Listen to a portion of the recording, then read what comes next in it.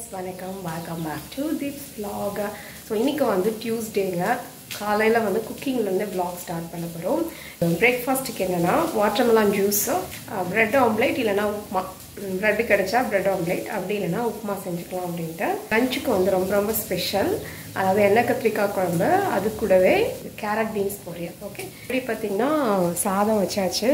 அதுக்கப்புறம் carrot beans பொரியலும் தாளிச்சு விட்டுட்டேன். இது வந்து தண்ணி ஊற்றாமல் கொஞ்சம் மட்டும் எண்ணெய் சேர்த்து ஊற்று அப்படியே ஃப்ரைடு கேரட் பீன்ஸ் பொரியல் மாதிரி செய்கிறது ஸோ அதனால் நான் எண்ணெய் மட்டும்தான் ஊற்றிருக்கேன்னு வச்சுக்கோங்களேன். அப்படியே ரொம்ப சிம்மில் வச்சு ஒரு ஃபிஃப்டீன் மினிட்ஸ் அந்த மாதிரி நம்ம அப்பப்போ மிக்ஸ் பண்ணிவிட்டு குக் பண்ணிகிட்டே இருந்தோம்னா தண்ணியே ஊற்றாமல் இது குக் பண்ணுறது ஓகே ஸோ அப்படியே ஃப்ரைடு மாதிரி இருக்கும். டேஸ்ட் வந்து கொஞ்சம் டிஃப்ரெண்ட்டாக இருக்குது. இதுக்கோங்க எல்லாத்துக்கும் ஃபேவரேட்டான இந்த எண்ணெய் கத்திரிக்காய் குழம்பு செய்ய போகிறோம் ஸோ இதுக்கு என்னென்ன பண்ணியிருக்கேன்னா ஃபஸ்ட்டு வந்து இந்த மாதிரி குட்டி குட்டி குட்டியான கத்திரிக்காய் வாங்கிக்கோங்க. உள்ளுக்குள்ளே நான் ஸ்டஃப் என்னென்ன போட்டிருக்கேன்னா ஒரு ஒன்று ரெண்டு மூணு நாலு அஞ்சு ஆறு ஏழு ஒரு எட்டு கத்திரிக்காய் ஏழு கத்திரிக்காய் இருக்கா? ஏழு கத்திரிக்காய் இருக்குது அப்படின்னா ஒரு ஸ்பூன் சாம்பார் தூள் இதுக்கு தேவையான அளவு உப்பு போட்டுட்டு ஒரு கால் டீஸ்பூன் மஞ்சள் தூள் அவ்வளோதான் வேறு எதுவுமே போடல. ஸோ தண்ணி ஊற்றி மிக்ஸ் பண்ணிவிட்டு இல்லைனா எண்ணெய் ஊற்றி கூட நீங்கள் மிக்ஸ் பண்ணிக்கலாம். பேஸ்ட் மாதிரி பண்ணிவிட்டு அதை வந்து உள்ளுக்குள்ளே நல்லா அப்ளை பண்ணிக்கோங்க. ஓகே ஸோ இந்த மாதிரி நல்லா உள்ள எல்லாத்துலேயுமே அப்ளை பண்ணியிருக்கேன் ஸோ இப்போ நம்ம பேனில் வச்சுட்டு எண்ணெய் ஊற்றிடலாம் ஸோ ரொம்ப சிம்மில் வச்சுட்டு எப்பயுமே இந்த மாதிரி ஷாலோ ஃப்ரை மாதிரி நம்ம பண்ணுறோனாலே முக்கியமான விஷயம் என்னென்னா நீங்கள் வந்து அடுப்பை ரொம்ப சிம்மில் வச்சுக்கணும். ஓகே ஸோ சிம்மில் வச்சிங்க அப்படின்னா தான் அது தீயாமல் கரெக்டாக குக் ஆகும். ஸோ இப்போ வந்து நம்ம இதை அப்படியே ஷாலோ ஃப்ரை மாதிரி பண்ண போகிறோம் நல்லா வந்து ஆயிலே ஃப்ரை பண்ண போகிறோம் ஸோ கத்திரிக்காய் குழம்புக்கு செய்ய தேவையான அளவு வெங்காயம் அண்ட் தக்காளி வணக்கியிருக்கேன். இப்போ மிக்சியில் போட்டு வச்சுருக்கேன். ஸோ வெங்காயம் வந்து லைக் ஒரு பத்து பன்னெண்டு வெங்காயம் இருக்கும். சின்ன வெங்காயம் ரெண்டு தக்காளி. எண்ணெயில் ஊற்றி நல்லா வணக்கிட்டு வணங்கினதுக்கப்புறம் இப்போ ஆறிட்டுருக்கு. இதை போட்டு நல்லா பேஸ்ட் மாதிரி அரைச்சிடலாம். பேஸ்ட் அரைச்சி ரெடியாக வச்சுட்டு இந்த ஃப்ரை பண்ணிகிட்ருக்கோம் இல்லையா அந்த கத்திரிக்காய்? அதை வந்து இன்னும் ஒரு ஏழு எட்டு நிமிஷத்துக்கு நல்லா ஃப்ரை பண்ணுங்கள் அப்பப்போ லைட்டாக நீங்கள் திருப்பி விட்டுட்டே இருக்கணும். முக்கால் வாசி இது குக் ஆகிடும் இல்லையா? அந்த டைமில் நம்ம அரைச்சி வச்ச பேஸ்ட் இதோட சேர்த்து கொஞ்சம் தண்ணி ஊற்றி அது கூடவே புளி ஒரு அரை எலுமிச்சம் அளவு அளவுக்கு புளி ஊற வச்சு அந்த புளி தண்ணியும் சேர்த்துக்கோங்க. இது நல்லா ஒரு பத்து நிமிஷம் பன்னெண்டு நிமிஷம் கொதிச்சதுன்னா கத்திரிக்காய் குக் ஆகிடும் மசாலா குக் ஆகிடும் கடைசியாக நீங்கள் கடுகு கருவேப்பிலை தாளித்து கொட்டிட்டிங்கன்னா அவ்வளோதான் முடிஞ்சது. ஸோ இதான் வந்து நான் லஞ்சுக்கு ப்ரிப்பேர் பண்ணியிருந்தேன். ஸோ லஞ்செலாம் நல்லா சாப்பிட்டுட்டு evening time Mithun and Vikashini கொஞ்சம் நேரம் விளாட ப்ளே கிரவுண்ட் போகலான்னு கேட்டாங்க. அதுக்காக வந்து நாங்கள் வந்திருக்கோம். மித்துனுக்கு மொட்டை அடிச்சாச்சுல என்ன முடி இருக்குது அப்படின்னு நினச்சிடாதீங்க. அந்த விளாக் வந்து மொட்டை எடுக்கிறதுக்கு முன்னாடி எடுத்தது.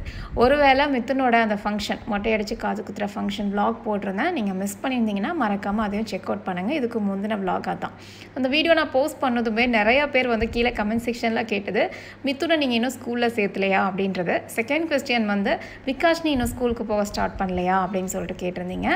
எனக்கு மட்டும் என்னங்க ஆசை தான் இவங்களை எப்படா ஸ்கூலுக்கு அனுப்புவோம்? அப்படின்றது தான். ஏன்னா கிட்டத்தட்ட ரெண்டு வருஷமாக வந்து வீக்லியே தான் இருக்காங்க. ஃபஸ்ட் ஆஃப் ஆல் அந்த லாக்டவுன் வந்தது ஒரு ஃபஸ்ட்டு ஒரு ஒன் அண்ட் ஹாஃப் இயர் அதுக்கப்புறம் சரி எல்லாம் நார்மல் ஆகிடுச்சு ஸ்கூல் ஜாயின் பண்ணலாம் அப்படின்னு பார்க்கும்போது நாங்கள் வந்து எங்களோட வீடு மாற்றி வந்துட்டோம்.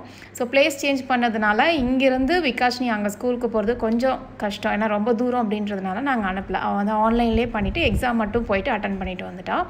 மித்துனை வந்து நம்ம இன் பிட்வீன் ஃபெப்ரவரி மந்த்லாம் ஸ்கூல் ஜாயின் பண்ண முடியாது அப்படின்றதுனால இந்த அகாடமிக் இயரில் தான் அவனை ஜாயின் பண்ணியிருக்கோம். டுவெண்ட்டி டூ டு டுவெண்ட்டி த்ரீல தான் ஜாயின் பண்ணியிருக்கோம். ஸோ இப்போ வந்து அவனுக்கு ஆல்மோஸ்ட் ஒரு ஃபோர் இயர்ஸ் கம்ப்ளீட் ஆனதுனால அவனை டேரெக்டாக எல்கேஜிலேயே எடுத்துக்கிட்டாங்க. ஓகே ஸோ அவன் வந்து ஸ்கூல் ஜாயின் பண்ணியாச்சு. ரெண்டு பேர்த்தையுமே வந்து இங்கே ஈரோட்லேயே ஸ்கூல் ஜாயின் பண்ணியாச்சு. ஸ்கூல் வந்து அவங்களுக்கு ஜூன் செவன்டீன் தான் ஓப்பன் ஆகுது.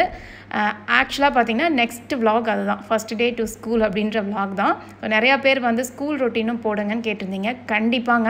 என்னோடய பழைய வீடியோலாம் எடுத்து பார்த்தா எனக்கு ரொம்ப ஆசையாக இருக்கும். வச்சோ அப்போல்லாம் வந்து லஞ்ச் பாக்ஸ் ஸ்நாக்ஸ் பாக்ஸ்னு சொல்லிட்டு நிறையா ரெசிபி போடுவோமே. இப்போல்லாம் அதை ரொம்ப ரொம்ப ரொம்ப மிஸ் பண்ணுறேன் நான்.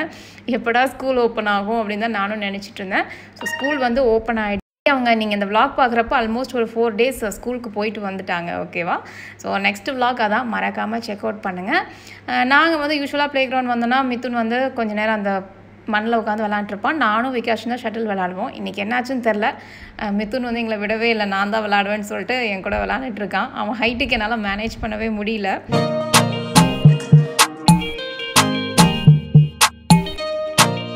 ஈவினிங் முடிஞ்சது. அடுத்தது என்ன? அப்படியே வீட்டுக்கு போயிட்டு டின்னர் ப்ரிப்ரேஷன் ஸ்டார்ட் பண்ண வேண்டியதான் ஆப்வியஸ்லி நெக்ஸ்ட் விலாக் வந்து ஃபஸ்ட் டே டு ஸ்கூலாக இருந்தாலும் அதுக்கப்புறம் டெஃபினெட்லி நம்ம கண்டினியூஸாக டெய்லி வந்து மெனு க்ரியேட் பண்ணி அந்த மெனுவில் டிஃப்ரெண்ட்டான ரெசிபீஸை மட்டும் நான் டெய்லி vlogsல ஷேர் பண்ண போகிறேன் ஸோ கண்டிப்பாக வந்து மறக்காமல் ரெகுலராக வீடியோஸ் பாருங்கள் okay thank you so much bye bye Ha ha ha!